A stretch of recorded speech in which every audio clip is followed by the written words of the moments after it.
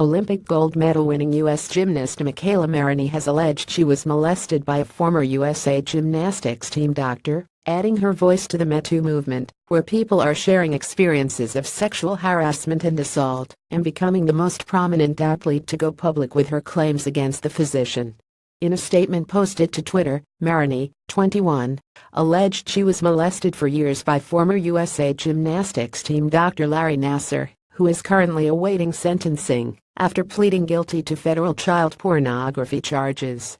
People should know that this is not just happening in Hollywood, she wrote, in reference to the allegations about producer Harvey Weinstein. It started when I was 13 years old, and it didn't end until I left the sport, Maroney continued.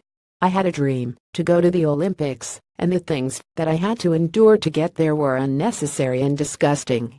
Maroney ended her involvement with the sport in 2016. Several of Maroney's teammates have accused Nassar of abuse while they were minors, but Maroney is the highest profile gymnast yet to come forward. Nassar, who was team doctor for USA Gymnastics from 1996 to 2015, is due to stand trial over charges of sexually assaulting nine girls, to which he has pleaded not guilty. Nassar, an osteopath, allegedly abuses gymnasts under the guise of treatment that included inserting his bare finger in the vagina. Nassar pleaded guilty to federal child pornography charges this summer and is in jail in Michigan awaiting sentencing. In addition to the charges for which he is facing trial, Nassar is the subject of hundreds of lawsuits accusing him of sexual abuse.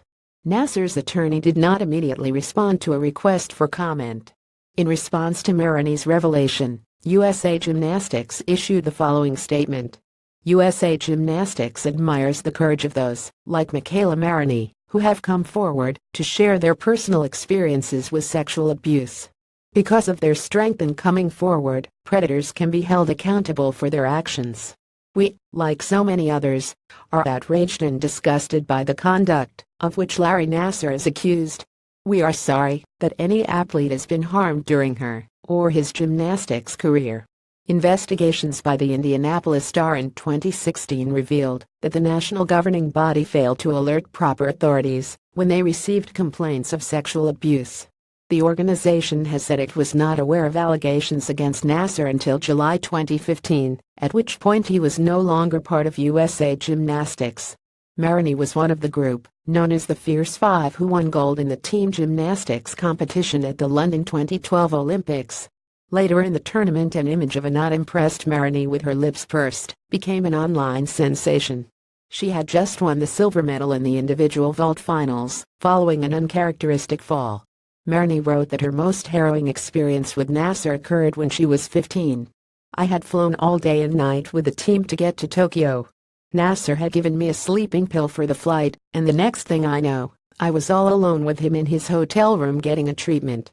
I thought I was going to die that night. The MeToo hashtag has been tweeted hundreds of thousands of times in the last few days after actor Alyssa Milano called for people affected by sexual harassment to speak out in solidarity after the Harvey Weinstein revelations. The hashtag has been taken up by people from all walks of life, illustrating the magnitude of sexual harassment. Said Maroney our silence has given the wrong people power for too long, and it's time to take our power back. And remember, it's never too late to speak up.